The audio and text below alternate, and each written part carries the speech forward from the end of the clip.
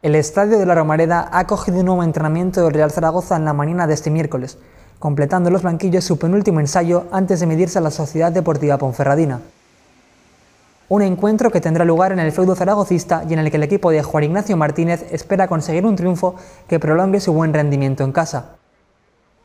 Tras la sesión ha atendido a los medios de comunicación el nuevo fichaje blanquillo, Juan Masanabria.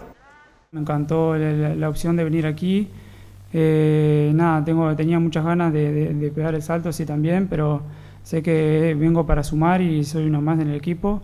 Y nada, espero seguir aprendiendo de todos los compañeros y, dar lo mejor en el campo de mí para, para poder ayudar. Este jueves, en un entrenamiento vespertino en la ciudad deportiva, el conjunto aragonés llevará a cabo su último ensayo antes de enfrentarse a la Ponferradina.